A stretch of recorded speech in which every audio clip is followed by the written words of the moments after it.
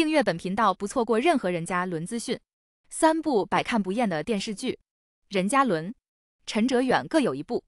拯救剧荒的你，一藏海花，很多人物相处的有趣细节都保留了。胖子还是那个会一边调侃吴邪天真二次方，一边出山帮他的胖子。吴邪还是那个很好骗也很聪明的吴邪。张海幸还会因为受了吴邪的好处就少揍他一点。每个人都有自己的趣味性，还可以感谢陈明昊老师再次出演胖子，实在是太亲切了。有他在，胖协出不了问题，插科打诨还能把正事儿给办了。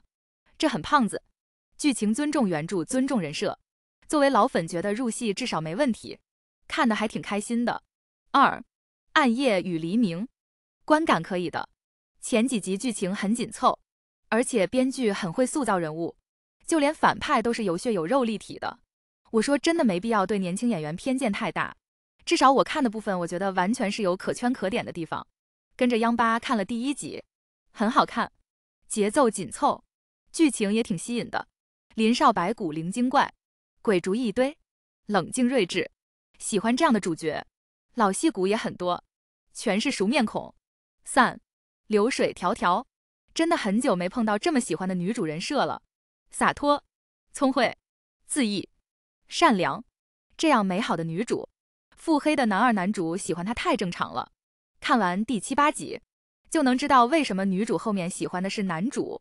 不是男二了，女主想要的是没有战争，百姓安居乐业，强者不肆意欺辱弱者。男主的忍辱负重也是为了还月落百姓一片安宁。男二想的是，既然战争不可避免，弱肉强食，那自己永远要当那个强者，以杀止战。可能如果没有男二母亲的存在，他和女主最后是能走到一起的。可惜没有如果，善良的女主也一定会从怜惜疼惜男主开始，逐渐喜欢上他。今天小编就给大家分享这几部百看不厌的电视剧，剧情精彩，并且阵容强大，看点十足，每一部都是神仙阵容。大家看过几部呢？欢迎在下面的评论框和大家一起分享。节目最后，希望小伙伴们订阅本频道，本频道专注任嘉伦的新闻资讯。